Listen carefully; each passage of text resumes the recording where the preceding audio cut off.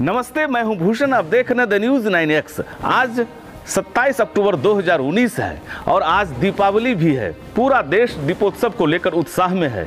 इस दीपावली स्वच्छता के नाम आप भी दिया जलाएँ। द न्यूज़ नाइन एक्स की ओर से आप सबों को दीपावली की ढेर सारी शुभकामनाएँ। अब चलें खबरों की ओर। बिहार में मुख्यमंत्री नीतीश कुमार ने जल जीवन हरियाली योजना की शुरुआत किया। यह सरकार की अति महत्वाकांक्षी योजना है। साथ ही एक बड़ी जनोपयोगी योजना भी है।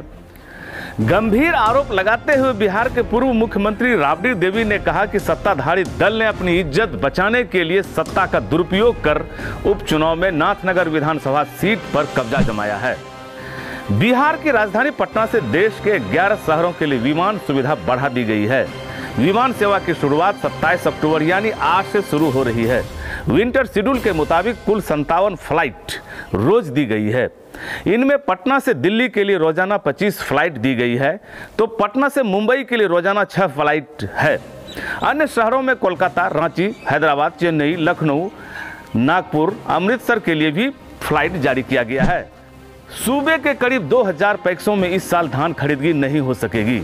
ऐसा इसलिए कि धान खरीदगी के लिए सभी पैक्स को ऑडिट करा लेने कहा गया था। इनमें 2000 से अधिक पैक्स अभी भी यूँ ही पड़े हुए हैं।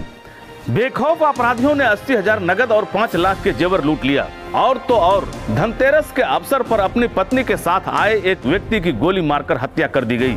मृतक का नाम कौशल बताया गया। बिहार शरीफ के सुलेमान चक गाँव में एक महिला और उसके डेढ़ साल के बच्चे की गला दबाकर हत्या कर दी गई। आरोप, मृतका के ससुराल वालों के ऊपर लगा है। बिहार व यूपी की एसटीएफ ने संयुक्त अभियान चलाकर गोपालगंज के कुख्यात विशाल सिंह समेत छह अपराधियों को गिरफ़्तार कर लिया। मधुबनी ज़िले के विशनपुर गाँव के पाँच बच्चे नदी में स्नान करने के क्रम में डूब गए। इनमें तीन बच्चों को तो बचा लिया गया, मगर दो बच्चे की लाश अभी तक नहीं मिली है। बस की चपेट में पूर्णिया ज़िले के अमौर में बाईसी रोटा रोड में एक बच्ची की मौत हो गई। पंचायतों में सर्वश्रेष्ठ कार्य करने के लिए सूबे के तीन मुखिया को सम्मानित किया गया।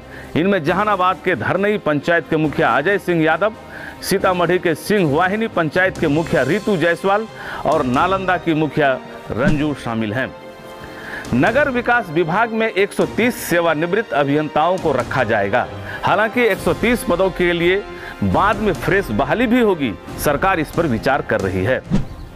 पटना में जल जमाव से उत्पन्न गंदगी और कचरा पर हाईकोर्ट ने कड़ा संज्ञान लिया है और सरकार को बिना देरी किए कचरा उठाव का आदेश दिया है।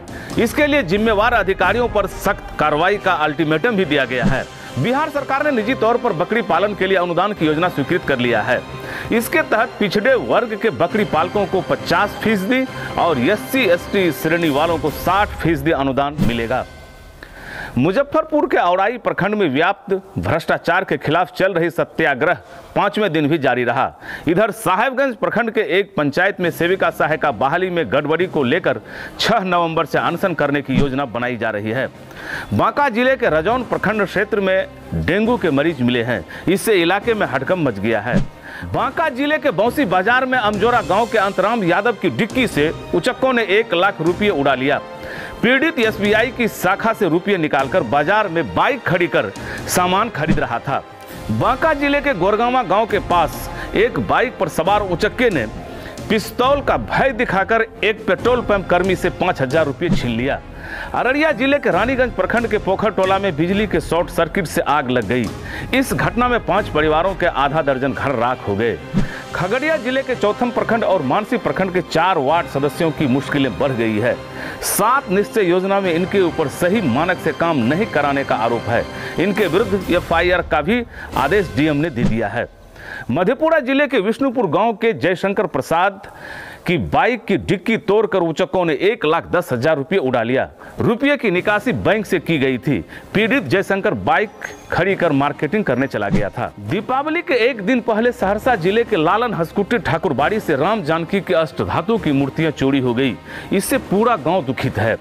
जमुई के बटिया उत्पाद बैरियर के पास झारखंड से मुजफ्फरपुर ले जाए जा रहे शराब की बड़ी खेप के साथ दो लोगों को उत्पाद विभाग की टीम ने दबोच लिया। जब्त शराब की कीमत 20 लाख आंकी गई है। समस्तीपुर के खानपुर में एक व्यवसायी रंजीत मिश्र के घर चोरी कर बाइक व हज़ारों की संपत्ति उड़ा ली गई। समस्तीपुर ज़िले के शेखोपुर पुलिया के पास एक आलू प्याज के व्यवसायी मुरली पोद्दार से पौने दो लाख रुपए पिस्तौल की नोक पर अपराधियों ने छीन लिया। दरभंगा समस्तीपुर मुख्य रोड पर दो ऑटो आमने सामने टकरा गई। इस घटना में चंदोली गाँव के मोहम्मद साबिर की दर्दनाक मौत हो गई। दरभंगा के सिमरी में कार पर लदी 388 बोतल शराब को कार समेत पुलिस ने जब्त कर लिया। ये थी बिहार की 21 बड़ी खबरें। खबरें कैसी लगी, अपना सुझाव कमेंट बॉक्स में दें। अगर हमारा ये वीडियो आप फेसबुक पेज के माध्यम से देख रहे हैं तो फेसबुक पेज लाइक करें। अगर हमारा ये वीडियो आप यूट्यूब पर देख रहे हैं तो YouTube channel the news nine subscribe करें।